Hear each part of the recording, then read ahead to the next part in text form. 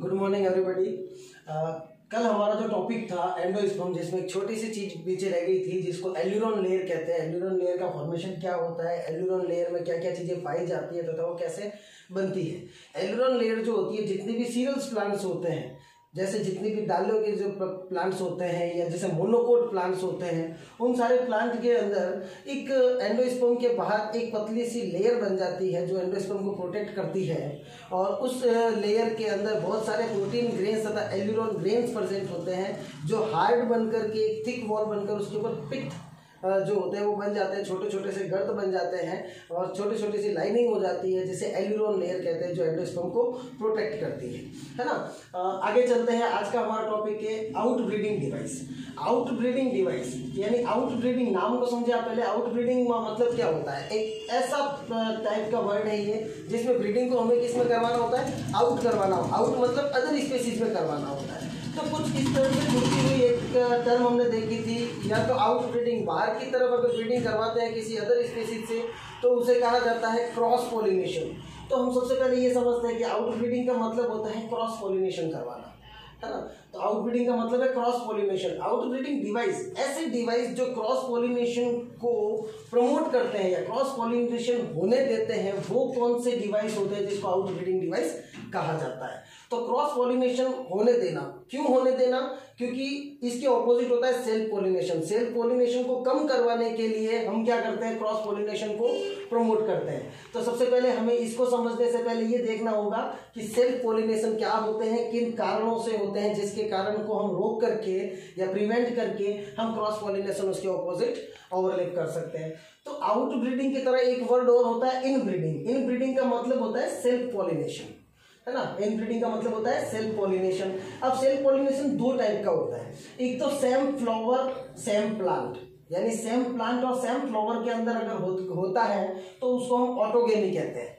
Autogamy का example देखें आप पी बीन्स ये सारे एग्जांपल ऑटोगेमी यानी सेल्फ पॉलिनेशन के फ़र्स्ट पार्ट में दूसरा होता है कि उसी प्लांट का डिफरेंट फ्लावर है ना? तो सेम प्लांट डिफरेंट फ्लावर सबसे पहला क्या आया था?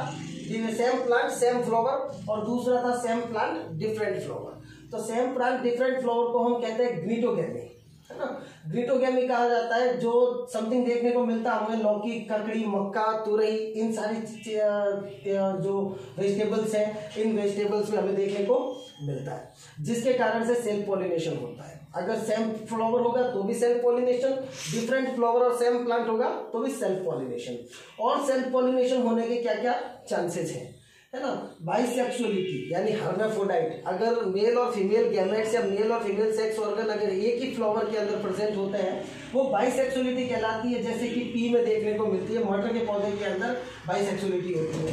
है ना? उसी तरह होती है होमोगेमी होमोगेमी क्या होता है? होमोगेमी का मतलब मेल और फीमेल जो गेमेट्स होते हैं, वो सेम टाइम के अंदर डेवलप होते हैं। उसे कहते हैं होमोगेमी है ना? जिसके अंदर कोई भी तरीके के चेंजेस नहीं पाए जाते हैं यानी ना तो मेल बड़ा होता है, ना फीमेल बड़ी होती है। दोनों सिमिलर साइज़ और शेप के होते हैं और एक टाइम पर दोनों डेवलप होते हैं, जिसे होमोगेमी कहा जाता है।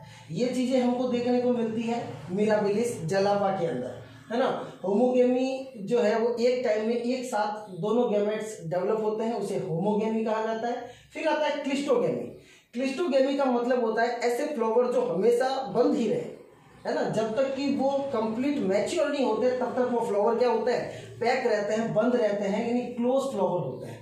ऐसे फ्लावर जिसके अंदर pollen sorry male reproductive part और फीमेल रिपोर्टिव पार्ट दोनों उसके साथ में बंद ही। है तो आउट से तो किसी का वो पॉलिनेशन कर नहीं सकते सेल्फ ही कर पाएँगे, क्योंकि पैक होने के कारण वो अपनी ही पोलन ग्रेन्स को स्टिग्मा के ऊपर कर एक्सेप्ट करता है है ना? वैसे जो फ्लावर होते हैं, जो पैक फ्लावर होते हैं, उसको क्लिस्टोगेमस फ्लावर कहा जाता है। ये क्लिस्टोगेमी देखने को मिलती है हमें ड्रोसेरा ऑक्जेलिस और कनकोवा कनकोवा के अंदर देखने को मिलती है। कनकोवा का साइंटिफिक नेम है कॉमेलिया बेंगेलियंसिस ओके अब ये तो थे सेल्फ पोलिनेशन होने के टाइप्स यानी सेल्फ पोलिनेशन कैसे कैसे हो सकता है? अब सेल्फ पोलिनेशन के एडवांटेज तो बहुत सारे हैं, कि सेल्फ पोलिनेशन होगा तो हमें बहुत सारी स्पेसीज देखने को मिलेगी, बहुत सारी स्पेसीज डेवलप हो सकती लेकिन इसका एक डिसएडवांटेज भी है। अगर कंटिन्यू बहुत सारे ईयर्स तक हम सेल्फ पॉलिनेशन अगर करवाते रहते हैं तो एक टाइम ऐसा आ जाता है कि सेल्फ पॉलिनेशन के लिए उसी फ्लावर की स्टिग्मा उसी फ्लावर के एंथर को लेने से मना कर देती है, यानी कि उसको एक्सेप्ट नहीं करती। क्यों नहीं करती? इस चीज़ को देखते हैं। क्योंकि एक ही तरीके का सेल्फ पोलिनेशन अगर होता रहेगा तो उसके अंदर जेनेटिक वेरिएशन नहीं आएगी। कोई जो मेन प्लांट के अंदर जेनेटिक कोड की जो सीक्वेंस होती है, वही सीक्वेंस उसके डॉटर प्लांट्स में देखने को मिलेगी। तो कंप्लीट बहुत सारी जब जनरेशन आ जाएगी तो उसके अंदर कोई भी वेरिएशन या कोई भी चेंजेस हमको देखने को नहीं मिलता है। और जब कोई वेरिएशन नहीं मिलता है तो उसमें इनहेरिटेंस नहीं होगा। और इनहेरिटेंस अगर नहीं होता है तो सिलेक्शन और नेचुरल सिलेक्शन के लॉ के अकॉर्डिंग वो स्पेसीज ज़्यादा सर्वाइव नहीं कर पाती है, जिसके अंदर वेरिएशन नहीं होता है। इसलिए एक रूल्स दिया हुआ है, परिवर्तन ही संसार का नियम है। जब तक कोई चेंजेस नहीं आएँगे, जब तक कोई वेरिएशन नहीं होगा, तब तक वो प्लांट जो होता है सर्वाइव नहीं कर पाता। तो कुछ टाइम तक तो सेल्फ पॉलिनेशन करवा सकते हैं। उसके बाद में वो खुद ही स्टिग्मा उसको एक्सेप्ट करने से मना कर देती अब ये सारे टाइप्स को रोकने के लिए हम कौन कौन से टाइप कर सकते हैं जो क्रॉस पॉलिनेशन को आकर करें क्रॉस पॉलिनेशन को जीनोगेमी कहा जाता है है ना?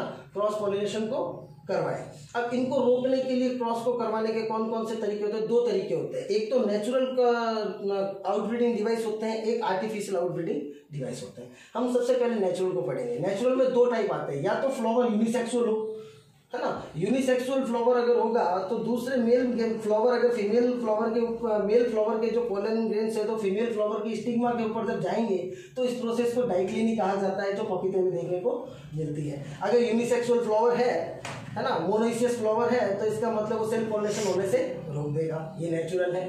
दूसरा आता है हेट्रोगेमी हेट्रोगेमी को हम डाइकोगेमी भी कहते हैं। हेट्रोगेमी का मतलब होता है मेल और फीमेल जो होते हैं वो अलग अलग टाइम पर डेवलप होते हैं। मेल और फीमेल गेमेट जो होता है डिफरेंट डिफरेंट टाइम पर वो डेवलप होते हैं या मैच्योर होते हैं, जिसे डाइकोगेमी या हेट्रोगेमी भी कहा जाता है। ये दो तरीके की होती है। अगर किसी फ्लावर में मेल गेमेट अगर सबसे पहले डेवलपमेंट होता है तो उसे प्रोटेंड्री कहा जाता है, जो देखने को मिलता है कॉटन सनफ्लावर साल्विया और हिबिस्कस रोजा साइनेंसिस एच मतलब हिबिस्कस रोजा साइनेंसिस में। और अगर यदि फीमेल मेल से पहले डेवलप हो जाता है उस प्लांट में तो उसे कहा जाता है प्रोटोगाइनी प्रोटोगाइनी के एग्ज़ाम्पल देखने को मिलते हैं Aristolochia family Brassicaceae family and Rosaceae family के अंदर.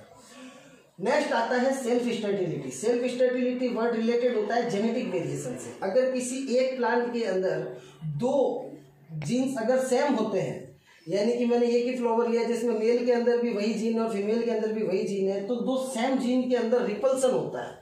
तो रिपल्सन होने के कारण वो सेल्फ स्टेबिलिटी के अकॉर्डिंग वो उसी प्लांट के एंथर को लेने से या एक्सेप्ट करने से मना कर देता है क्योंकि उसमें रिपल्सन क्रिएट होना शुरू हो जाता है। ये चीज़ें देखने को मिलती है बीटिस यानी अंगूर माल्स माल्स यानी कि सेव है ना पैसिफ्लोरा यानी राखी बेल के अंदर। उसके बाद हर्कोगेमी हर्कोगेमी जो होता है वो नेचुरल बेरियर होता है। नेचुरल बेरियर मतलब कि गैमेट्स जो होते हैं वो ऐसी स्ट्रक्चर बना लेते हैं जिसके कारण से दूसरे सेल्फ पॉलिनेशन करना पॉसिबल नहीं हो पाता, वो क्रॉस पॉलिनेशन ही कर सकते हैं। जिस तरीके से हमें ऑक ऑक के अंदर पोलिनिया स्ट्रक्चर देखने को मिलती है है ना? उस तरह कैरियोफिलेसी फैमिली के अंदर हमें देखने को मिलती है, ये वाली फैमिली हर्कोगेमी टाइप्स इसमें क्या होता है? फीमेल जो होता है, या तो वो बड़ा होगा, या फिर मेल छोटा होगा।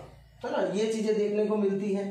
या फिर नेचुरल बेरियर के अकॉर्डिंग ये एक स्पेशल स्ट्रक्चर बनाते हैं, जैसे पोलिनिया पोलिनियम ऐसी स्ट्रक्चर बन जाती है जो सिर्फ़ out breeding device out breeding ही कर पाती है, वो सेल्फ ब्रीडिंग नहीं कर पाती क्योंकि उसके पोलन के एक बैग के अंदर जमा हो जाता है। उसके बाद हेट्रोस्टाइली हेट्रोस्टाइली को हेट्रो एंथ्री भी कहा जाता है। इसका मतलब होता है उसके एंथर और स्टाइल जो होते हैं, वो अलग अलग डिफरेंट डिफरेंट होते हैं। कुछ प्लांट ऐसे होते हैं जिसके अंदर स्टाइल या फीमेल रिप्रोडक्टिव पार्ट बड़ा होता है कंपेरिजन टू मेल ऐसे फ्लावर को कहा जाता है पिनॉइड फ्लावर पिनॉइड फ्लावर मतलब उसका फीमेल रिप्रोडक्टिव ऑर्गन तो बड़ा होगा कंपेरिजन टू मेल मेल छोटा होगा. तो मेल के एंतर जो होते हैं वो फीमेल तक पहुँच नहीं पाते, है ना? इस वजह से वो दूसरे के साथ में क्रॉस पोलिनेशन करता है। जैसे कि example primrose evening primrose में देखने को मिलता है। दूसरा में अगर यदि एंथर बड़ा होता है और उसकी स्टिग्मा अगर छोटी होती है या उसका फीमेल रिपोर्टिव पार्ट अगर छोटा हो, छोटा होता है, उसे थ्रीमोइड फ्लावर कहते हैं। उसे थ्रीमोइड फ्लावर कहते हैं। ये एग्ज़ाम्पल जो होता है, वो कुकुर मीडियसी और लिलियसी फैमिली के अंदर हमें देखने को मिलता है। ये तो थे नेचुरल के टाइप नेचुरल में एक टाइप और आता है इनकम्पेटिबिलिटी और उसके बाद में आता है आर्टिफिशियल जिसे कहते हैं हाइब्रिडाइजेशन करवाना। वो नेक्स्ट वीडियो के अंदर हम देखेंगे।